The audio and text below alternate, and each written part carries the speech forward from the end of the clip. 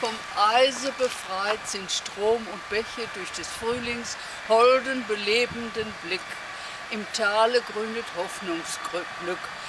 Der alte Winzer in seiner Schwäche zog sich in raue Berge zurück. Von dort her sendet er fliehend nur ohnmächtige Schauer körnigen Eises in Streifen über die grünende Flur.